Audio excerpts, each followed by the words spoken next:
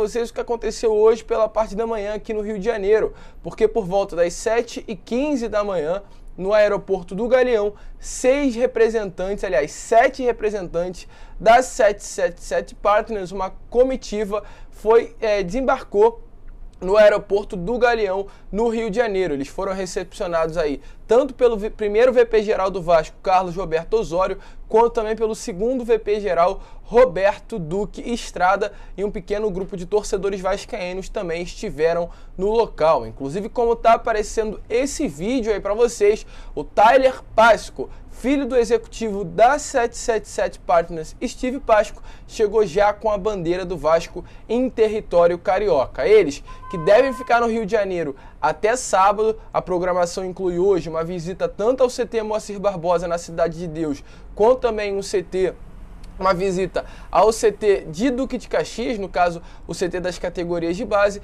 e também uma visita amanhã ao nosso estádio São Januário em um encontro com o prefeito da cidade do Rio de Janeiro, Eduardo Paz. Tudo isso se encontra na agenda e provável destino sábado é o retorno ao sócio, aos Estados Unidos, no caso, né, local onde se encontra a empresa norte-americana. Com relação à vinda, qual é o grande motivo da vinda da empresa norte-americana ao Rio de Janeiro?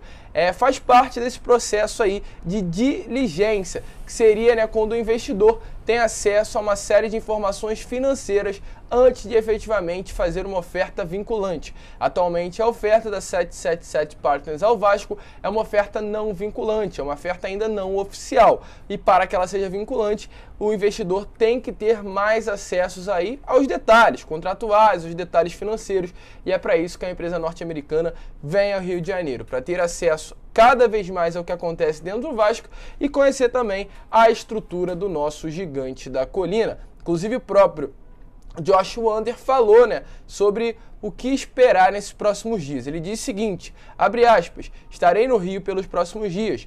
A intenção é passar um tempo com a diretoria do Vasco, algo que possa nos ajudar no processo de diligência e também ajudar na imersão no clube, entender sua cultura.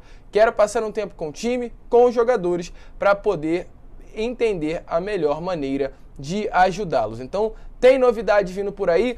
É, 777 Pátrias no Rio de Janeiro, para aqueles que acham que a SAF é uma boa para o Vasco. Em breve poderemos ter mais soluções, em breve poderemos ver o Vasco aí retornando à elite do cenário do futebol brasileiro, deixando bem claro para aqueles que acham que a SAF é a solução para o Vasco da Gama. Eu quero saber a sua opinião, então deixe aí nos comentários. A empresa norte-americana já se encontra em solo carioca, ou seja, o processo SAF fica cada vez mais evidente dentro do Vasco da Gama.